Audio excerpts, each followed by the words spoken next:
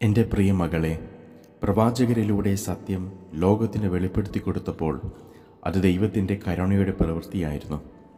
എത്രയോ അധികം ആളുകൾ ദൈവത്തെ മറന്ന് സാത്താന്റെ വൃന്ദങ്ങളിൽ നിന്ന് വരുന്ന വ്യാജ ദൈവങ്ങളെ ആരാധിക്കുകയും അതുവഴിയായി അവർ തങ്ങളുടെ അജയ്യതയിൽ വിശ്വസിച്ച് തുടങ്ങുകയും ചെയ്യുന്നു. ദൈവത്തിന്റെ ഇടപെടൽ ഇല്ലായിരുന്നെങ്കിൽ അനേകം പേർ ഭയാനകമായ ശിക്ഷ അനുഭവിക്കേണ്ടി വരുമായിരുന്നു. ദൈവം പ്രവാചകരോട് ആദ്യം മുതലേ പറഞ്ഞത് സംഭവിച്ചിരിക്കുന്നു. അവിടുന്ന് മനുഷ്യവംശത്തിന് കൊടുത്ത മുന്നറിയിപ്പുകൾ സ്വീകരിച്ചവർ രക്ഷപ്പെടും. അവയെ അവഗണിച്ചവർ പുറന്തള്ളപ്പെടുകയും ചെയ്യും.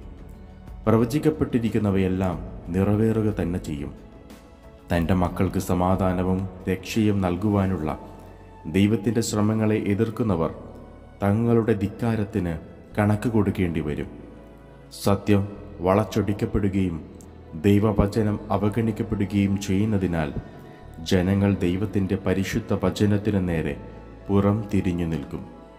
അവരുടെ അന്ധകാരത്തിലേക്കുള്ള പ്രയാണം അത്യുന്നതനായ ദൈവത്തിൽ നിന്നുള്ള ശിക്ഷയിൽ പര്യവസാനിക്കും. സ്വന്തം സുഖം തേടിയുള്ള യാത്രയിൽ മനുഷ്യർ എത്രമാത്രം ആഴങ്ങളിലേക്ക് അധംപതിച്ചിരിക്കുന്നു എന്ന് കാണുന്നത് എന്റെ നിത്യപിതാവിനെ വേദനിപ്പിക്കുന്നു. എന്നാൽ വിശുദ്ധ ബലി നിർത്തലാക്കപ്പെടുകയും കപടവേഷക്കാരൻ എന്റെ ബലിപീഠത്തെ അശുദ്ധമാക്കുകയും ചെയ്യുന്ന ദിവസമായിരിക്കും എന്റെ പാർശ്വം പിളർക്കാൻ വേണ്ടിയുള്ള അവസാനത്തെ മുള്ള. നിശ്ചയിക്കപ്പെട്ടിരിക്കുന്ന ആ സമയത്ത് ഇടിയും മിന്നലും കർത്താവിന്റെ ആലയത്തിൽ ഇറങ്ങുകയും അത് തകർന്നു വീഴുകയും ചെയ്യും. ദൈവാലയത്തെ അശുദ്ധമാക്കുന്നതിൽ പങ്കെടുക്കുന്നവർക്ക് ദുരിതം. അവർ എല്ലാ ആശ്വാസത്തിൽ നിന്നും വിച്ഛേദിക്കപ്പെടുകയും ഒരു കല്ല് പോലെ അഗാധമായ പാതാളത്തിലേക്ക് പതിക്കുകയും ചെയ്യും. ദൈവത്തിന്റെ കരം ഒരു കനത്ത മഴ പോലെ പതിക്കുമ്പോൾ അവർ സത്യം ഗ്രഹിക്കും. അപ്പോൾ എന്റെ ബലിപീഠത്തെ അശുദ്ധമാക്കിയവനെ ന്യായീകരിക്കാൻ ആരും ഉണ്ടാവില്ല. അനവധി പേർ ദൈവത്തിൽ നിന്ന് അകന്നു പോയിട്ടുണ്ടാകും എന്നാൽ മറ്റനേകം പേർ ദൈവത്തിന്റെ നാമം വിളിച്ചപേക്ഷിക്കുകയും അവിടുത്തെ കരങ്ങളിൽ ആശ്വാസം കണ്ടെത്തുകയും ചെയ്യും. എന്നിരുന്നാലും മൃഗങ്ങളുടെ കൂട്ടം കാതലായ ഒരു പറ്റം തങ്ങളുടെ ഉള്ളിലുള്ള ദുഷ്ടതയെ മറച്ചുകൊണ്ട് പുറമേക്ക് നന്നായി കാണപ്പെടുന്നവരായി അപ്പോഴും ഉണ്ടാകും. തങ്ങളുടെ കഠിന ഹൃദയങ്ങൾ കൊണ്ട് എന്റെ ശരീരത്തെ അശുദ്ധമാക്കാൻ ഏറ്റവും യോജിച്ച കിങ്കരന്മാരെ ഇക്കൂട്ടർ ഉന്നം വെച്ച് വശീകരിച്ച് തങ്ങളിലേക്ക് ചേർക്കും.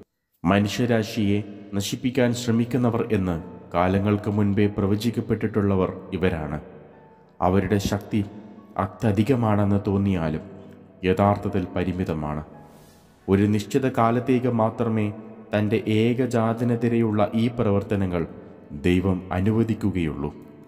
ഹൃദയത്തിൽ നന്മയുള്ളവർ ഒന്നു ചേർന്ന് എന്റെ അടുത്തേക്ക് വരും. അഹങ്കാരത്തിന്റെയും ഔദ്യത്വത്തിന്റെയും പാപങ്ങളിലൂടെയാണ് മനുഷ്യർക്കിടയിലെ ഏറ്റവും വലിയ വിഭജനം നടക്കാൻ പോകുന്നത്. മനുഷ്യർ തങ്ങളുടെ ഈ ദൗർബല്യങ്ങളെ മറികടന്നില്ലെങ്കിൽ അവർക്ക് എന്റെ കരുണ സ്വീകരിക്കാൻ അസാധ്യമായിരിക്കും. സത്യം എല്ലായ്പ്പോഴും ഉയർത്തിപ്പിടിക്കപ്പെടണം.